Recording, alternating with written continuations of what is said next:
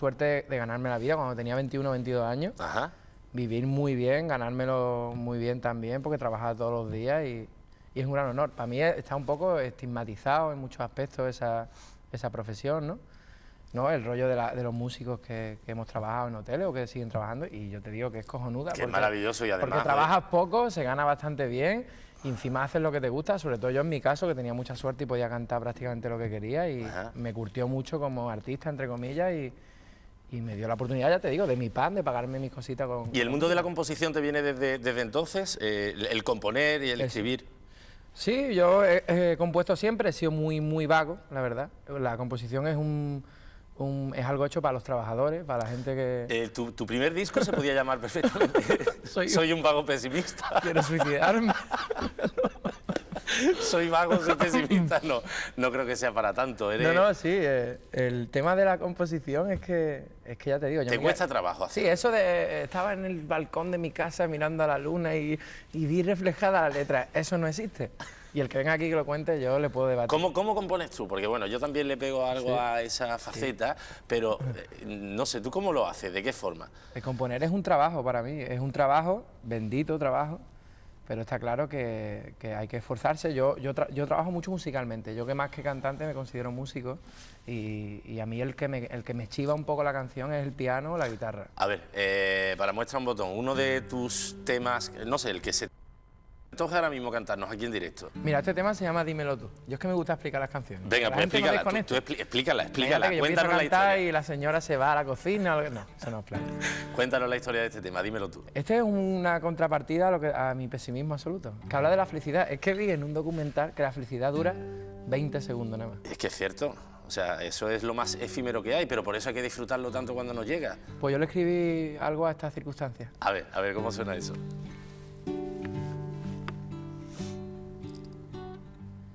A ver cómo te lo canto, a ver cómo te lo digo.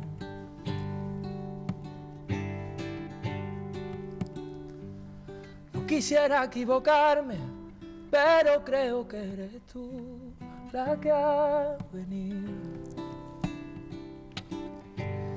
Y has venido para recordarme que esta vida es un segundo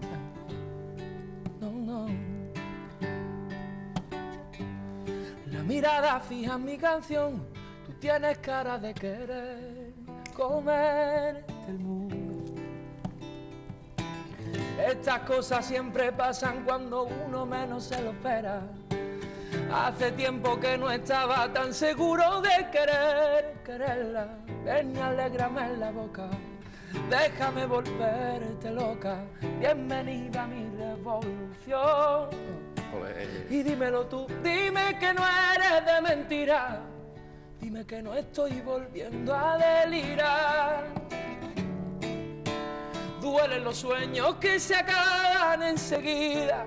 Duele todo en esta vida, pero duele diferente cuando tengo una canción. Dime que tú no eres de mentira, que no te he inventado yo. No, no. Joder, qué maravilla, Pablo. Evidentemente, a ver que suene más fuerte ese aplauso, por favor.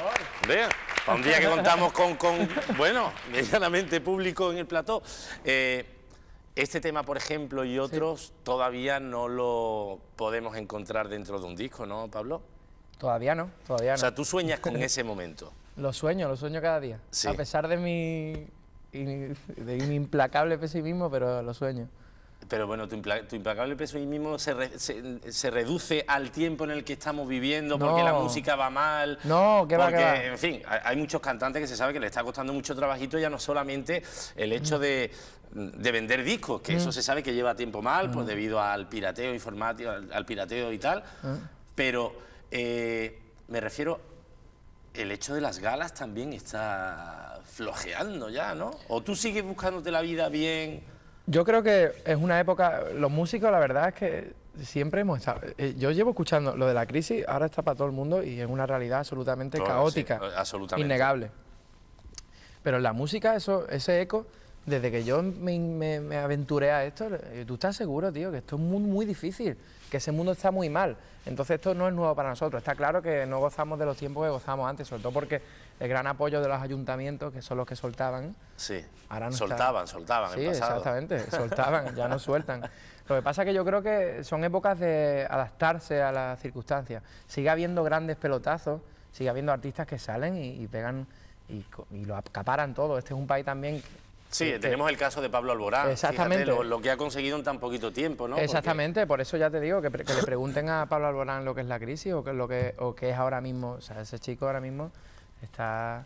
Arriba a los altares, desde y- luego. Y el pobre no, no para de trabajar. El pobre... Bueno, el pobre. Pero tú siempre haciendo tu pesimismo. Claro. Le, dices- le llama a Pablo Alborán el pobre. No, no, perdón, perdón. Bueno, el caso es ese, ¿no? Eh, es que yo te digo que es una manera relativa, ¿no? De, de verlo. Está claro que no es el mejor momento, pero hay, hay que Sí, buscarse vamos, la el que tiene